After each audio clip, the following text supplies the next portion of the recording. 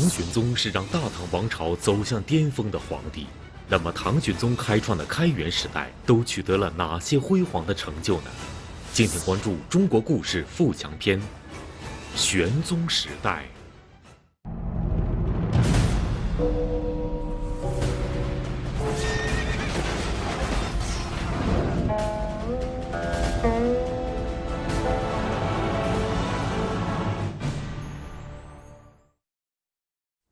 唐玄宗前后当了四十四年皇帝，此后又当了六年太上皇，当时号称五十年太平天子。他是中国历史上统治时间最长的皇帝之一。在他的治理之下，当时的唐朝达到了全盛阶段。那么，当时的唐朝在各个领域都取得了哪些让后人惊叹的成就？陕西师范大学于耕哲教授做客百家讲坛，为您讲述系列节目。中国故事富强篇：玄宗时代。唐玄宗皇帝李隆基，这个人在位的时间足够长，在他的任期内，实现了盛世的目标。开元盛世，应该说从先秦一直到中古这个阶段内，中国历史的最高峰，就是在。开元天宝时期出现，那么我们今天所要讲的是什么？我们今天所要讲的，就是唐玄宗所取得的这些成就。它是一个盛世，当然了，还是那句话，任何盛世，我们首先都应该归功于人民的努力。人民才是创造历史的主动力。任何盛世都是人民辛勤劳作的这个结果。但是不可否认的是，政治是否清明，社会是否安定，对于盛世来说也是一个绝对必要的条件。所以，对于统治者个人来说，就提出了很高的这个要求。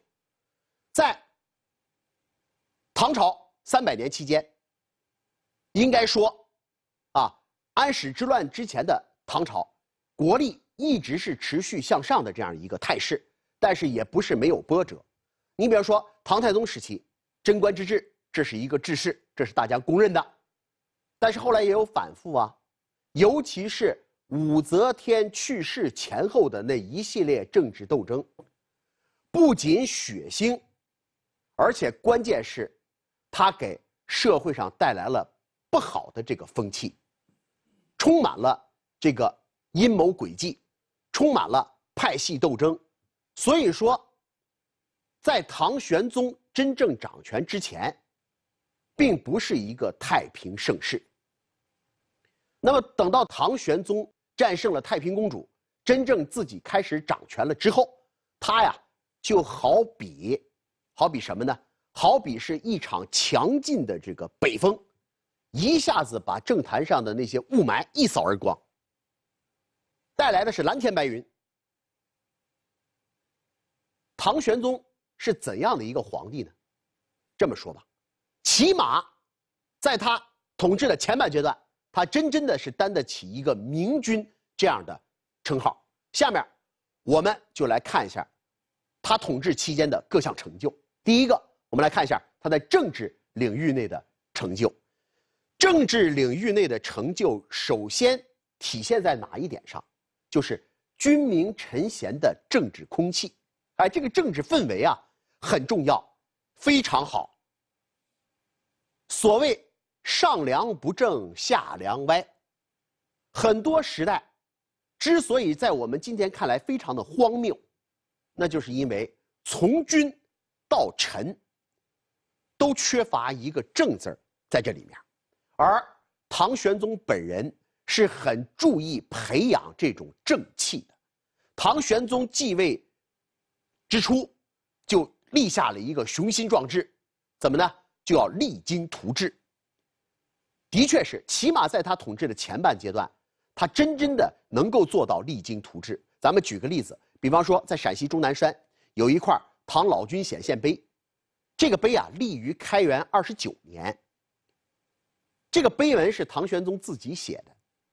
在这个碑文里边，唐玄宗总结自己统治的前半阶段，他说呀，自打自己当皇帝以来，到现在已经三十年了。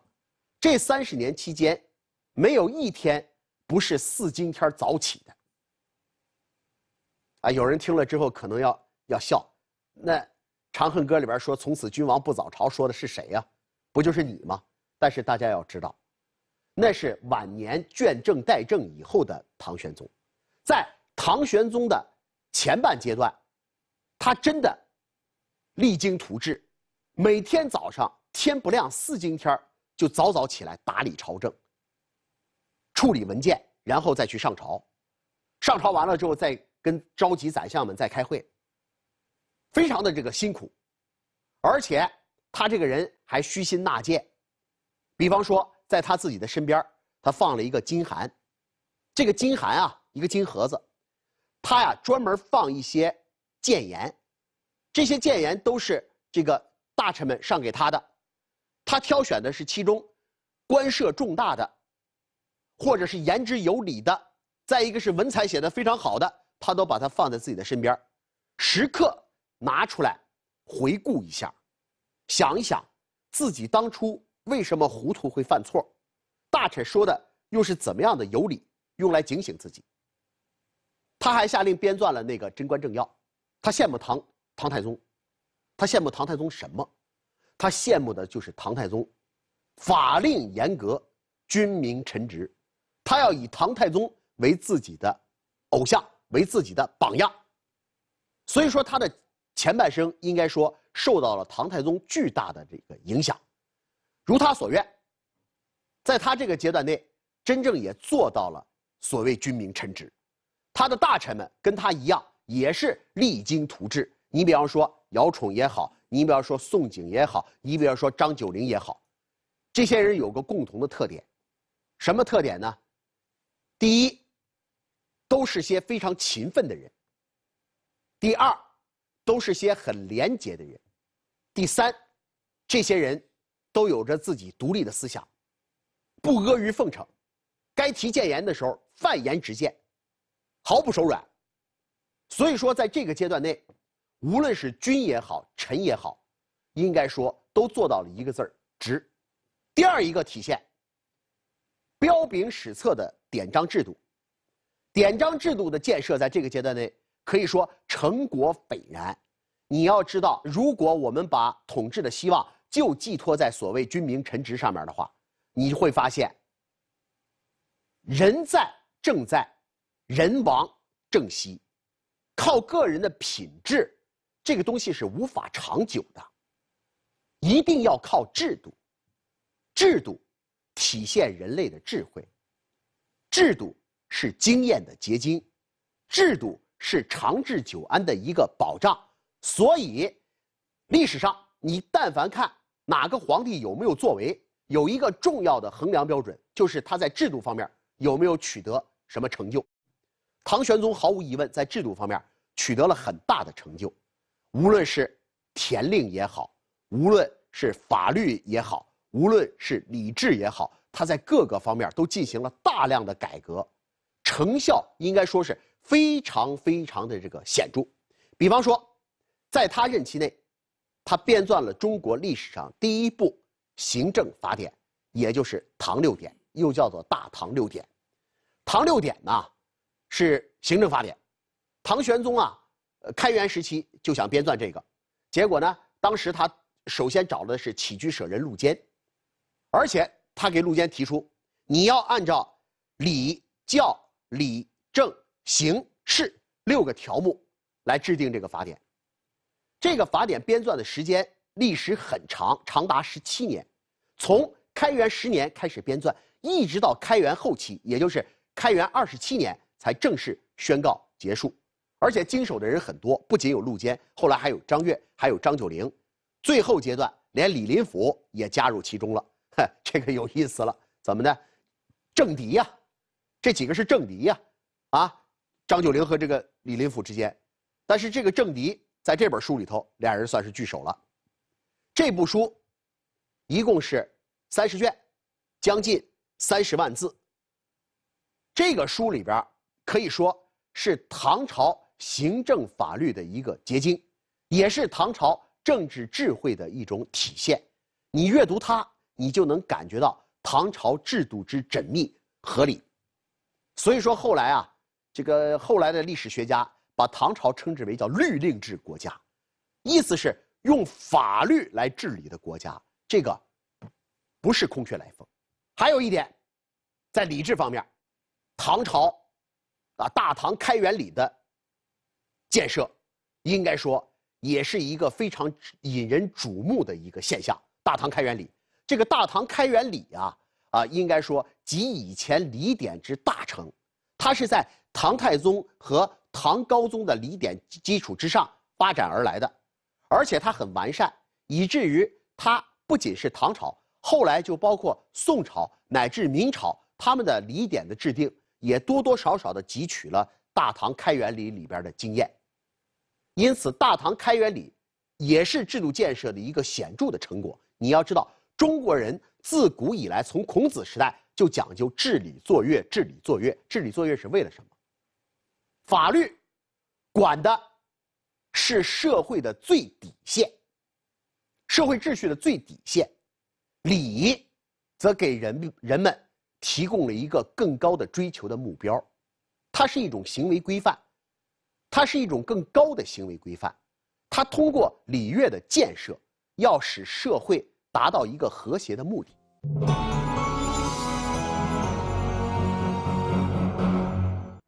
在唐玄宗的治理之下，当时的唐朝洋溢着积极进取的精神，体现的是一种昂扬向上的气势。在庙堂之上是君臣齐心的励精图治，处江湖之远是无耻童子使不言文墨的文化气息。那么，在这样的大唐气象之下，当时的唐朝有怎样的国际影响力呢？第三个体现，就是崇高的国际地位。衡量一个国家的发展水平，不仅要有纵向的对比，纵向的对比就是比较前朝嘛。比较前代吗？还要有一个重要的对比，应该是横向，就是对比一下周边的国家和周边的地区，我们就对这个时代的发展水平有一个清醒的认识。那么唐朝处于怎样的一种水平之下呢？应该说，唐朝是当时世界上当之无愧的一个超级大国。当时，长安也好。洛阳也好，扬州也好，广州也好，泉州也好，等等这些大城市里边，有很多很多的外国人，这其中有使节，有商人，啊，也有学问僧，也有其他的大量的其他身份的这个外国人。当时，丝绸之路上给唐朝输入了大量的珍奇宝货，唐朝人的日常生活也受到了丝绸之路很大的这个影响。比方说输入的东西啊，咱们举个例子，比方说葡萄酒，比方说蔗糖，啊，这都影响到了唐朝人的饮食，一直到现在，我们仍然受其影响。这是一个。再一个，你比方说服装，唐朝人尤其女孩子爱穿什么呢？爱穿胡装，爱骑马，这些风习也都是跟这个外来的影响密切相关。应该这么说，唐朝啊。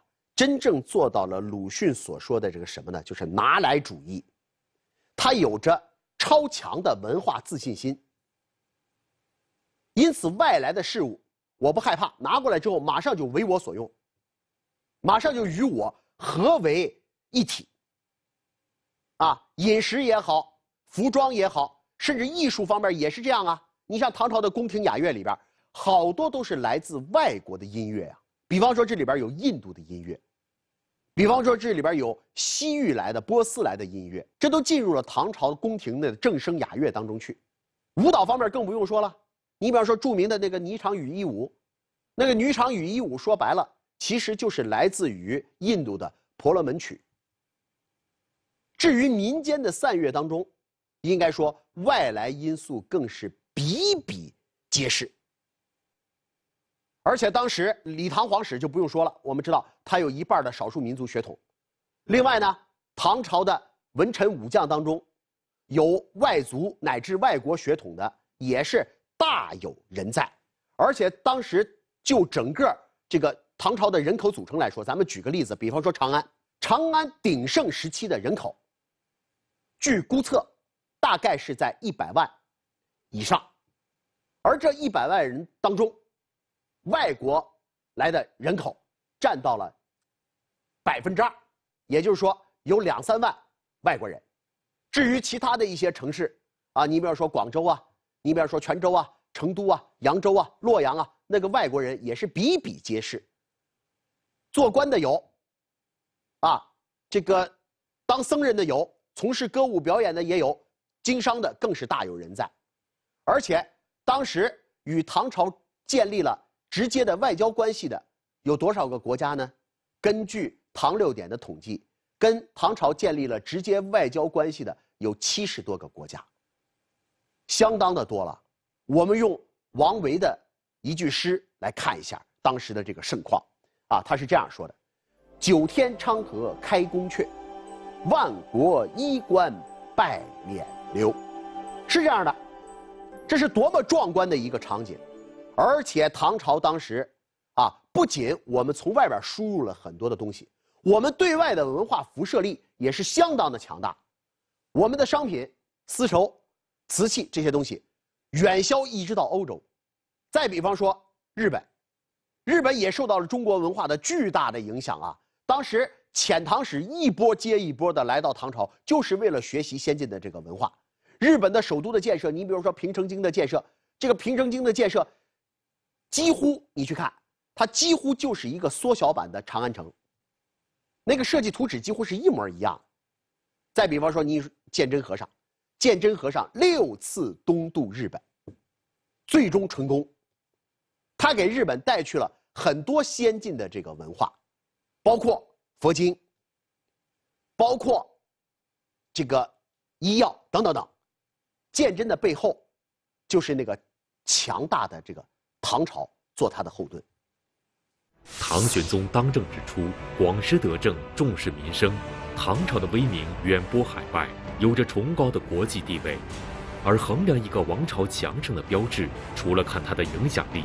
还要看它的经济发展到什么程度，它统治下的老百姓是否生活富裕。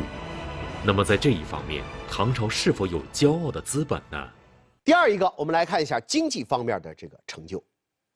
唐玄宗本人呢，应该说在经济方面，他达到了唐朝的一个最高峰，真正做到了前无古人。唐朝从建国之初就一直想超越。隋炀帝大业五年的各项经济指标，到了唐玄宗的手里头，这算是真正得以实现了。衡量一个时代的发展水平，按照古代的标准来说，重要的有两个标志，哪两个标志呢？一个人口总数，再一个人均的粮食的占有量。就人口总数而言，那么。唐玄宗时期的人口达到了怎样的一个规模呢？唐玄宗时期，登记在册的总人口的数量，大概是五千到六千万之间。但是考虑到当时有逃户现象的存在，因此一定有不少的人口不在户籍的统计范围内。所以我们估计，啊，现代学者做了一个估算，认为唐朝的总人口在。开元天宝年间，大约达到了七千到九千万之间的这样的一个规模，这是怎样的一个规模呢？你要放在那个时代背景下的话，你就会发现，这是当时世界人口第一大国。你比方说欧洲，欧洲要一直到十四世纪的时候，它的整个一个大洲的人口加起来才达到了八千一百万。而在他之前几百年，唐朝开元天宝时期就已经达到了这样的一个规模。这种人口规模就说明了当时社会生产力的一个进步，能养活得起，哎，就是这个意思。那说到养活得起，我们就得说一下这个粮食产量问题。当时唐朝农业非常的发达，唐玄宗也很重视这个农田水利的这个建设，因此农业发展在开元天宝年间也达到了一个巅峰。那么这个时候的呃人均粮食占有量达到了怎样的一个规模呢？啊，根据现代学者的一些推算，啊，有学者推测说，唐朝在天宝初期的时候啊，人均粮食占有量大概达到了七百斤左右。你要知道，这个数字啊，在古代社会也是相当相当了不起的一个数字啊，因为它基本呢可以说，它实现了中国农民长久以来的一个梦想。中国农民有一个什么梦想呢？耕三于一。什么叫耕三于一呢？意思是说，我每耕种三年，起码让我攒下来的粮食，能够让我啊，在荒年来临的时候，颗粒无收的情况之下，起码能让我挺一年以上。这叫做耕三于一。可是问题就在于，耕三于一是一个梦想，是一个理想，在中国古代的大多数时段，它是难以实现的。但是如果说人均粮食达到了七百市斤的话，要我说啊，耕三于一的理想，应该说基本上已经实现了，这也是农业经济领域的一个成就的体现。所以说，从人口和粮食两个角度来看，我们能看得出，开元时期真真的能够达到盛世的这个标准，而且社会。也非常的安定。我们来看一下杜甫的《忆昔诗》里边是怎么样的回忆的。他说：“那个年代，九州道路无柴虎，远行不劳即日出。骑完鲁缟车斑斑，男耕女桑不相识。”什么意思呢？治安好。神州大地，道路上没有豺狼虎豹。也没有那那么多的这个劫匪，因此出远门不用算日子，不用选什么黄道吉日，想走就走。而且大路之上啊，这个装载着各种豪华的这个纺织品的车辆，也就是说这些商贾的车队啊，这个呃可以说是人马喧嚣。里头，农夫正在耕地，农舍里头啊，农妇正在纺织，一切都是井然有序。也就是说。社会出现了一个非常稳定、非常繁荣这样的一个景象。是啊，治安好。自古以来，一个社会治安如果要想好的话，一定要让大多数的人有自己的生计，要过得好，治安自然也就上去了。所以说，在唐玄宗时期，治安这么好，不是偶然的。下面我们再来看一下文化领域内的这个成就。一个时代，一个盛世，必须要有文化方面的成就。甚至于，一个时代已经过去了，他在文化方面的成就，比他在经济和政治领域内的成就，影响力持续要长久的多。唐玄宗时期，也是唐朝文化的一个鼎盛时期。唐朝在这个阶段内，可以说人才辈出，成果斐然。唐玄宗本人很重视儒家思想的建设，也很重视教育。那个时候，这个呃各个州都普遍的开设有州学，很多人都能够接受教育，全民的教育程度都有一个显著的这个提高。唐玄宗本人还很重视礼制建设啊，比方说。他曾经亲自书写《石台孝经》。这个《石台孝经》刻在碑上，现在呢放在西安碑林博物院，是碑林博物院的镇馆之宝。这个东西说明了什么？这就是文化建设呀。唐玄宗在做什么？唐玄宗在全天下进行孝道的教育。他认为，通过孝，进一步就能够达到忠，忠孝两全。这就是儒家的思想，啊，这是他在文化建设方面的努力，而且唐朝在这个地方水到渠成的迎来了自己文学的最鼎盛时代。这个年代有一些光辉灿烂的名字呀，李白、杜甫、高适，啊，这个岑参、王维、贺知章、张九龄，等等等，这么多。辉煌伟大的名字集中出现在这个年代，难道是偶然的？绝不是偶然的。首先，它是唐朝文化发展的这个结果。唐朝从武则天时代开始，高度重视这个文学的这个发展。武则天在科举当中加士杂文，当时的社会风气出现了这样的一个景景象：无耻童子耻不言文墨。人人都致力于这个诗词歌赋的这个创作，所以说这个文学里边，你要知道一一句话，群众基础雄厚，所以才堆砌出了这样一个辉煌伟大的金字塔尖来。李白、杜甫，这是金字塔尖当中的人才，他们的涌现是建立在雄厚的群众基础之上的，而且当时的唐朝的这个文坛，应该说那个文风相当的雄健。这就是唐朝气魄的体现吗？你看，在此之前，你比如说上官婉儿，上官婉儿那个时期，上官婉儿品评诗歌，当时她是文坛之领袖啊，她是一介女流，但是你看人家品评诗歌的时候，人家要求的是什么？人家要求的是词气要昂然向上。啊，什么叫瓷器啊？那就是诗歌当中体现出来的那种自信心，那种胸怀抱负，你要。昂然向上，这就是大唐文化的一种体现。而我觉得盛唐的诗人当中，要说这种气魄最杰出的代表，毫无疑问的当然就是李白呀。你看看李白那个气魄啊，“千金散去还复来”，什么“天生我材必有用”，啊，“仰天大笑出门去”，这个“我辈岂是蓬蒿人”，说白了是什么？这就是一种文化自信心的一种体现。是一种个人雄心壮志、个人抱负的一种体现，这种气魄说白了就是大唐之气魄。正如这个余光中先生所评价的这个李白，说李白这个袖口一吐啊，便是半个盛唐，是这样的。李白的精神，就是大唐精神的一个集中的体现。李白的文学成就，就是唐朝文学成就的一个集中的体现。读懂李白，也就读懂了。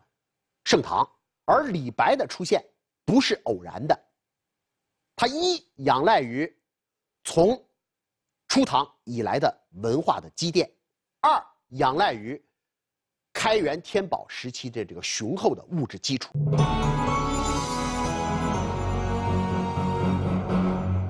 唐玄宗在他执政的前半阶段，可以说是一个有作为的皇帝，他有超越前人的渴望，更有亲力亲为的勤奋。正是在他的表率作用下，唐朝上下齐心，最终开创出一个不同以往的新时代，所以唐朝才有豪迈的气象，所以才有李白这样天才诗人的横空出世。而这一时期的唐玄宗，在他的身上还有哪些可贵的品质呢？请继续收看《中国故事富强篇》，玄宗时代。开元前期的。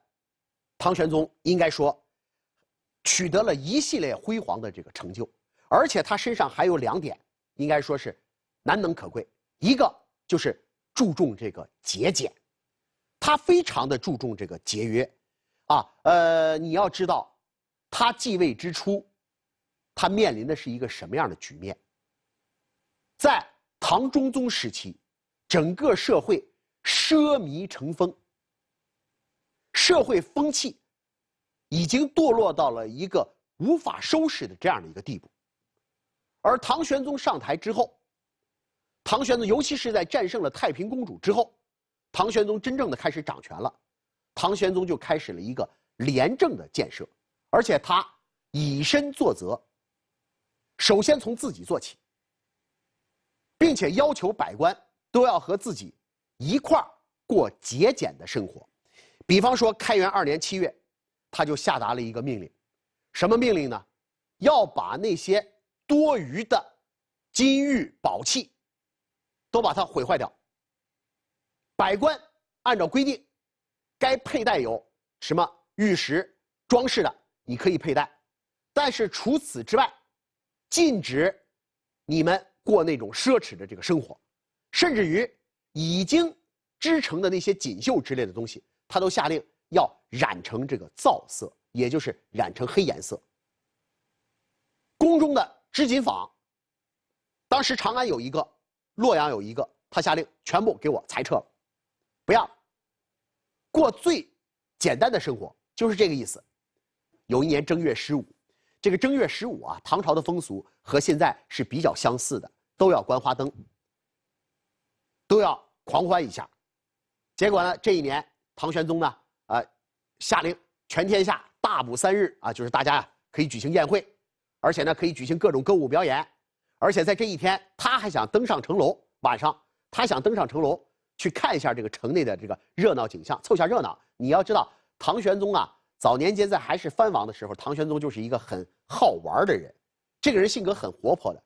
当了皇帝之后呢，哎，他还想继续这样的这个呃快乐的生活，但是。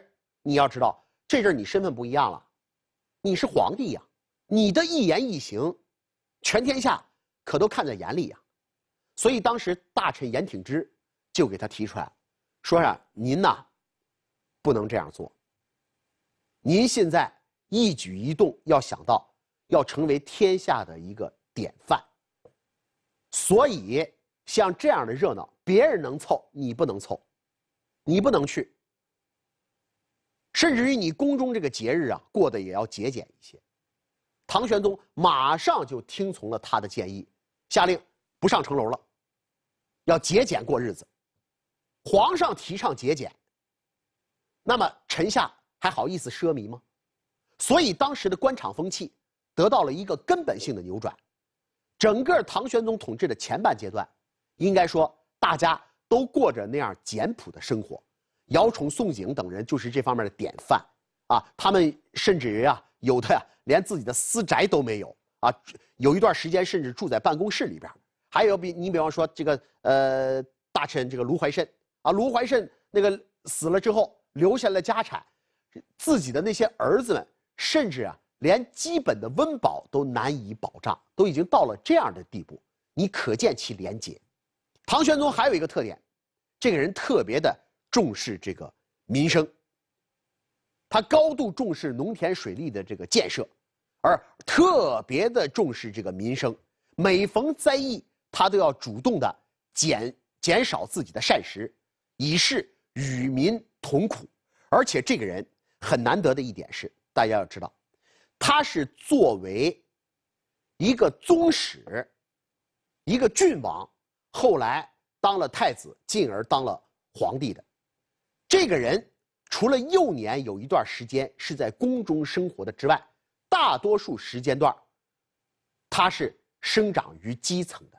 李隆基早年间在基层的这个经历，比方说他担任过潞州别驾，像这样的一些经历，对于他后来的施政产生了很大的影响。他懂得老百姓的所思所想，所以这个人非常的重视这个呃这个民生。在这方面，应该说，他给全天下都做了一个良好的一个典范。当时的大臣们和他一样，也都非常的重视农田水利的建设，重视民生。当时有很多大臣，这咱们这么说吧，唐朝三百年，你要说农田水利哪个时间段是一个巅峰的话，首推就是唐玄宗开元天宝时期。开元天宝时期的农田水利建设达到了唐朝的一个最高峰，这些东西跟民生应该说是密切相关。到了开元十三年，在宰相张悦等人的建议之下，唐玄宗举行了泰山封禅大典。封禅这个事情，自古以来就有，但是中国历史上只有六位皇帝敢进行这个封禅大典。为什么呢？因为封禅要求很高，第一，必须要是太平盛世；第二，必须要有祥瑞。很多皇帝，尽管他的统治也相当的成功，但是他也没有那个底气去举行这个封禅。比方说清朝的乾隆皇帝，乾隆皇帝在位这么多年。多次来过泰山，也曾经登顶，先后六次登顶，但是他只敢搞一般的祭祀，他不敢进行这个封禅。而唐玄宗开元十三年，进行了一次封禅，应该说，他够不够格呢？要我说，他真的够格。而且在这个封禅典礼上，应该说，在这个过程当中，也体现了他对于民生的这个重视。比方说，回来的时候，曾经发生了这样的一件事情啊，一场宴会。你从这个宴会上，唐玄宗的这个言行，你能看得出，这阵唐玄宗真的心里头始终挂念的就是民生，而且呢，他非常的这个时候啊，他非常的明白事理，能够明辨是非。当时，他路过这个宋州，宋州啊，也就是今天的河南的这个商丘，路过宋州的时候，举行了一场宴会。随行的官员在场，宋州的这些地方官们也在场。结果在这场宴会上啊，唐玄宗呢很高兴啊，呃，酒酣耳热之际，唐玄宗站起来说：“说我这一次出巡呐，不仅是为了封禅呐，也是为了体察民情，而且我发现了，啊，我自己出去走一趟，跟派使者出去走一趟还真不一样。”我以往没有少派使者出去，但是现在看来，他们啊多多少少都扭曲了真相，给我汇报的都不是真相。我这一番出巡，我发现了几个特别的人才，比方说，啊，他列举的第一个，怀州刺史王丘。说王丘这个人呐，跟别人不一样。有的地方官见我来了，那就要把最好的东西都要贡献给我。啊，这个甚至于正常需求之外的东西，他也要贡献给我。可是王秋不一样，王秋给我贡献的，就是最基本的这个物资，最基本物资之外的东西，他一丝一毫也没有做过贡献。这就足见，这个人明事理、懂法度。这是一位，还有一个，就是魏州刺史崔冕。说崔冕这个人是怎么回事呢？啊，唐玄宗的原话是这样说的：“共章无锦绣。”什么意思呢？就是说这个沿途的地方官啊，都要给皇帝啊，车队来了之后，都要给皇帝的车队提供什么呢？提供这个什么帷幕啊？棚呃帐篷啊，就这些东西，啊，这叫做贡章。有些地方官为了讨皇上的欢心，献上来这些贡章啊，上面都是用锦绣做的。但是咱们这位崔冕提供的这些贡章，全部都是素面的，没有花纹，没有织锦，很朴素。唐玄宗认为这个。要比你们贡献那个锦绣要好得多，哎，这是一个，还有一个，第第三一位是谁呢？是冀州刺史裴耀卿。裴耀卿在皇帝路过的时候，裴耀卿给皇帝上了一个谏言，是怎么说的呢？裴耀卿说：“说您千万不要忘了这次泰山封禅，您的根本目的是什么？您是要向天地告成。”什么叫告成呢？意思就是说，向天地汇报自己的政绩。汇报说，我们现在天下已经是天下太平了，太平盛世。而裴耀卿特别指出，如果您这一趟出巡，劳民伤财，给老百姓造成了额外的负担的话，那么我就问一句：您还有什么脸面告成呢？就是这个意思，所以皇帝拿到这个之后也很高兴。皇帝特地把裴耀卿的这封谏言放在了自己随身的那个金函当中，时刻拿出来警醒自己。唐玄宗下诏要求把刚才提到的官员全部都加官进爵，委以重任。唐玄宗此时应该说，他的头脑是非常清醒的。他的施政是卓有成效的，他的理念应该说是符合实际的。在他的统治的前半阶段，唐朝迎来了一个最鼎盛的阶段，这个也绝不是偶然的。我们经常说一句话，叫做唐宗宋祖，还有什么我公脉唐宋等等等，可见唐和宋是紧密相连的。